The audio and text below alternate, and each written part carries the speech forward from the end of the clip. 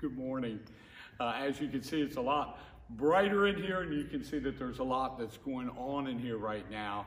Uh, our windows are being repaired, and they're going to be taken out, uh, taking off to I think Missouri or somewhere, and that way they will be repaired and then brought back and reinstalled.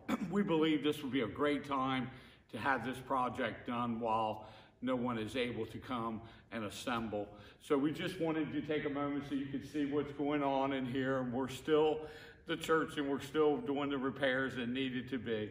So uh, hopefully by the time that we are able to gather again, this project will be close to being finished. So God bless you and uh, Centenary Church is still here. Amen.